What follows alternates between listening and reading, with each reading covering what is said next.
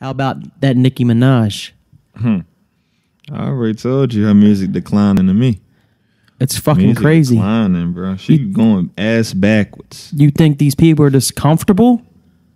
Or they just put shit out because they make money? Yeah, you can tell who really love music and who don't Yeah. from the shit they put out.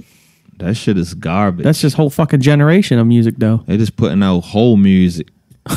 For real, man. Porno music. I don't want to watch. I don't want to listen to no porno, man. Right, that's for to. I want to hear buzz and shit, man. I don't want to. I mean, she's not making it for me anyway, but just the the, the image they putting out to the little girls and shit. Like I, I'm just ain't fucking with it. I ain't fucking. With it. Right. And Like no grown women over thirty should be calling themselves super freaks and all that shit. Like you gotta have some class and elegance about yourself. I'm just sick of the whole they whole should coach. They should fucking cancel that. Yeah, yeah. Out here with that WAP. yeah, that whole culture. This That should be canceled. out. Damn right. I never liked Lil' Kim. I always like Foxy Brown. yeah. I like Remy. I like females that really spit. Trina.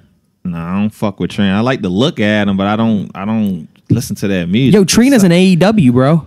what, bro? AEW wrestling. Oh yeah, yeah. I sang. What that. the I fuck? sang that. Make that. I sang that shit. That was random and shit. Movies now wrestling? Yeah. what the random. fuck's next? I did see that. That's shit. crazy. Shout out to Train. Yeah. Good luck.